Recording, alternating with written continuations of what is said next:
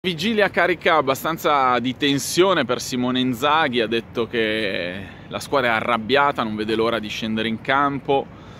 Un sali e scendi che abbiamo purtroppo visto troppe volte in questa stagione, grandi prestazioni, poi partite da dimenticare, rammarico che se l'Inter non avesse colto solo due pareggi contro Monza, Empoli, Sampdoria e Bologna, con 10 punti in più sarebbe vincendo contro il Lecce a meno 5 dal Napoli.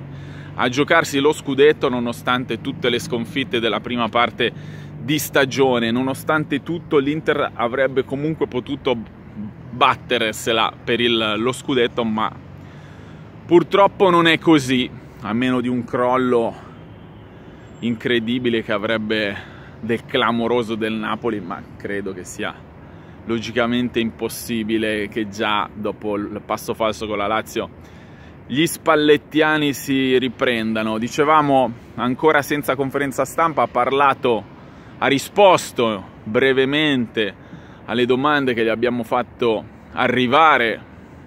La mia era quella su, sul distacco, se, se è reale, se l'Inter merita quel distacco lì, che rammarico più grande ha Inzaghi in questa stagione e ci ha tenuto però a sottolineare quanto di buono ha fatto nei suoi 18 mesi in nerazzurro, chiaramente un distacco pesantissimo, importante, ma più che il distacco, secondo me la cosa preoccupante è questo continuare tra alti e bassi alla ricerca di una continuità che sembra veramente questa sconosciuta. Geco in vantaggio su Lukaku per un'esclusione che ne parlavamo già stamattina, sarebbe clamorosa e comunque non aiuterebbe in alcun modo Lukaku a riprendersi, a ritrovarsi e a diventare una qualcosa di importante per la stagione dell'Inter.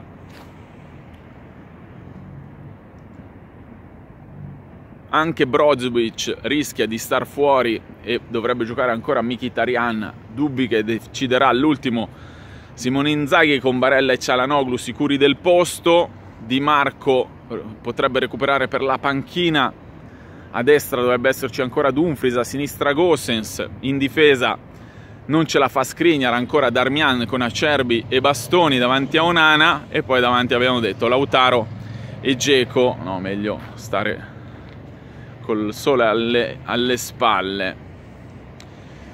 Questa dunque è la situazione, partita da vincere assolutamente, non sono più permessi passi falsi, la Lazio ha superato uh, l'Inter con la vittoria sul Napoli, senza la penalizzazione anche la Juve avrebbe più punti, non si può più sbagliare nulla e bisogna trovare una regolarità soprattutto in trasferta già da venerdì prossimo e poi soprattutto a Porto in Portogallo il 14 di marzo si gioca per la storia, proprio anche in vista, in previsione di quella sfida lì, credo che l'Inter debba cercare di recuperare il miglior Lukaku per quella gara lì, quindi non capisco perché tenerlo fuori invece quando dovrebbe giocare più minuti possibili. Aspettiamo, vediamo, intanto cerchiamo di capire dove nasce, nascerà, se verrà confermato, il nuovo stadio di, dell'Inter al confine tra Assago e Rozzano.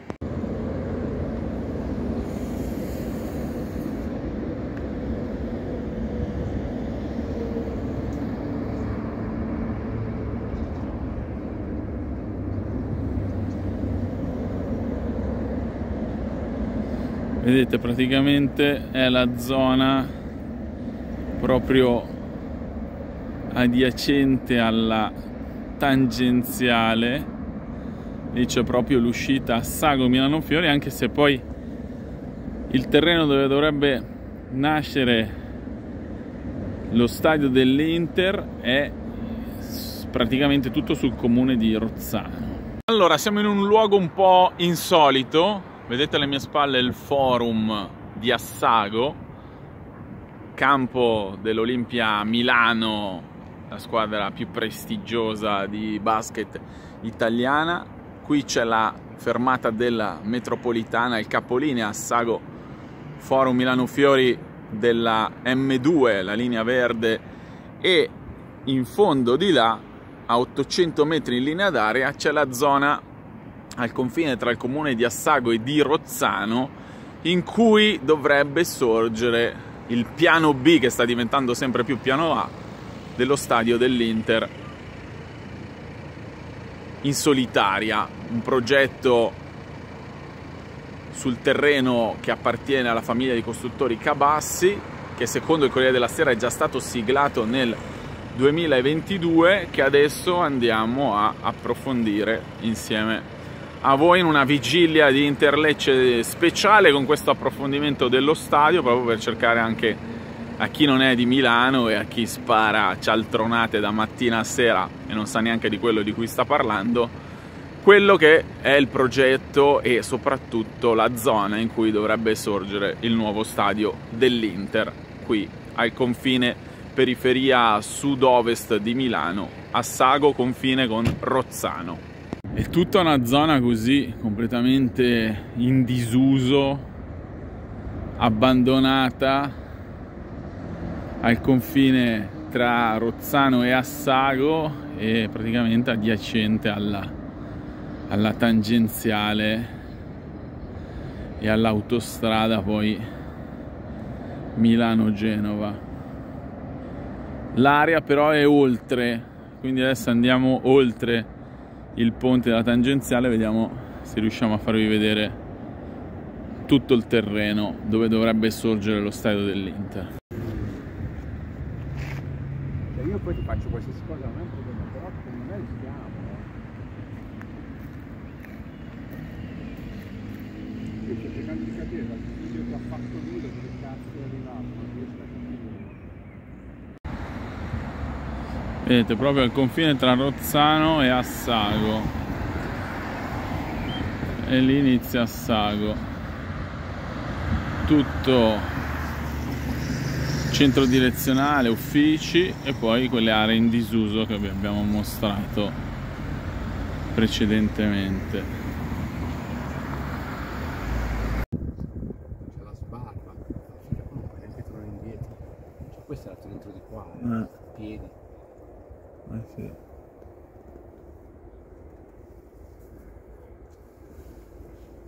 Anche qui non mi giro più. Pensavo fosse aperto.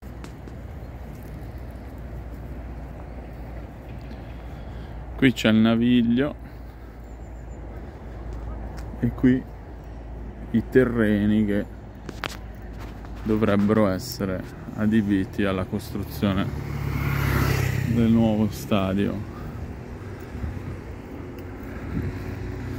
Con i silos abbandonati vedete? Eccoli qua. Zoomiamo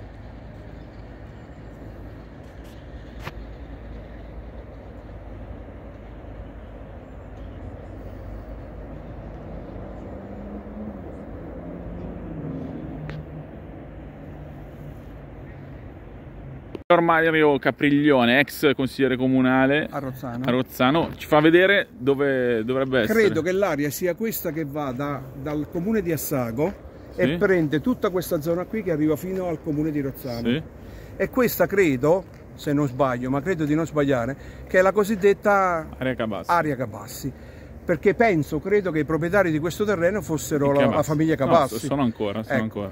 Quando io ero consigliere comunale c'è stato anche eh, un progetto per poter fare un grande centro commerciale che prendeva sempre quest'area qui che andava dal comune di Assago al comune di Rozzano, poi non se ne è fatto più nulla, non so per E questo è quale... proprio al confine tra i due Questo è- comuni? que- qui, allora, fino, fino a quest'area qui, a questa linea qui, credo che sia ancora comune di Assago, perché la strada quella lì, qui è comune di Rozzano, Ok. ma dall'altro ponte, come Ok, vede, Sì. il ponte che va da lì verso Milano è comune di Assago. Ok. Quindi le aree, so- i comuni sono delimitati e quindi finisce il comune di Assago e comincia quello di Rozzano.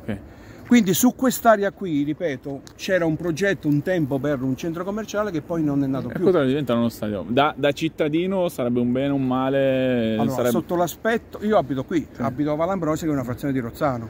Sotto l'aspetto della crescita del territorio, sotto l'aspetto del, eh, moderna, modernizzazione della zona potrebbe essere un, un grossissimo vantaggio per l'area. Chiaramente il rovescio della medaglia quale potrebbe essere? Che qui verrebbe fuori uno stadio con sicuramente un parcheggio importante e quindi da dove arriverebbero poi i tifosi o da lì o da qui. Eh, la viabilità, la viabilità anche perché tenga conto che questa strada qui c'è la provinciale, la, la SS Pavese che arriva fino a Pavia è comunque quasi sempre trafficata, anzi, di, di, togliamo quasi. Immaginiamo sempre, durante una partita durante di una partita di calcio sarebbe... E in più quanta distanza c'è da, dal forum di Assago dove c'è il basket? In, in, linea d'aria da qui saranno meno di un chilometro, mm. con la strada saranno massimo un chilometro e mezzo. E dalla metropolitana? A Sago. 10 minuti a piedi? A piedi anche un quarto d'ora. Quindi comunque... la metropolitana potrebbe far arrivare dei tifosi che arriverebbero sull'area un quarto d'ora 20 minuti. È vero che di là ci sono anche altri parcheggi che potrebbero essere sfruttati, cioè i parcheggi legati all'area del forum di Assago. Ma tenga conto che se capita una partita della, dell'Olimpia Milano e capita una partita in casa dell'Inter, significa questa zona non si può più circolare. Eh no, certo, perché sarebbero tutti i tifosi della pallacanestro e i tifosi del calcio. Quindi, favorevole o contrario? Allora, sono molto combattuto. Sotto l'aspetto del, del, della crescita del territorio sicuramente favorevole, sotto l'aspetto dei disagi per i cittadini contrario. Okay. Però tenga conto che, una, ripeto, la cosa che devono tener conto se decidessero mai di fare una cosa del genere, che la Pavese se capita ancora ancora di domenica, la partita domenica pomeriggio o domenica sera ce la giochiamo, inteso come traffico. Ma questa strada qui, il sabato eh, pomeriggio o il sabato fine. sera, è off limits, significherebbe far, una, far partire una coda che partirebbe da, dalla, dalla, Chiesa Rossa di Milano o forse anche prima, da via Scanio Sforza e arriverebbe fino all'entrata del, del, dello stadio. Eh. Ok, allora qui vediamo proprio l'infinita distesa di terreno che va fino poi ad Assago. No? Allora, oltre lì, oltre quelle torri lì, che sono dei silos abbandonati. Sono dei silos abbandonati. Dall'altro lato, in fondo c'è il forum d'Assago. Ma ripeto, a linea d'aria sarà meno di un chilometro, abbondante meno, abbondantemente meno di un chilometro. Per la viabilità ordinaria, che sono la strada che arriva al forum, dal ponticello lì sarà un chilometro, un chilometro e mezzo ma in linea d'aria da qua saranno 800 metri forse, 800-900 metri. E c'è tutta quest'area che è inutilizzata. È ormai inutilizzata. Quindi per questo sarebbe un bene riqualificare. No, sotto l'aspetto della riqualificazione del territorio, come vi spiegavo prima, sarebbe un vantaggio enorme, anche perché presumo che la costruzione di uno stadio poi abbia degli oneri di urbanizzazione che potrebbero essere strade più belle, tutta una rete fognaria nuova, che potrebbero essere, non so, in prossimità dello stadio, adesso con la mentalità degli stati europei mondiali, non so, dei centri commerciali a fianco che potrebbero eh essere certo. dei negozi belli, dei ristoranti attaccati. Quindi la crescita del territorio ne, ne, ne gioverebbe tantissimo. Il problema è la viabilità, perché se questa crescita poi finisce ed è una crescita sterile che finisce lì per lì, cioè farebbero eh, il bene soltanto degli operatori del settore, allora il cittadino che ci guadagna. Eh certo. Il cittadino ci guadagna niente. Se invece è una crescita che può far star bene l'intero territorio, non so, o oneri di urbanizzazione che potrebbero fare, le strade più belle e più larghe, delle piste ciclabili meravigliose, cose di questo tipo, allora avrebbe un senso perché è vero che io vado a subire il traffico e vado a subire l'impatto ambientale, ma dal, dall'altro canto ci guadagno perché è un territorio più bello. Ok, la ringraziamo molto, arrivederci. Buona giornata.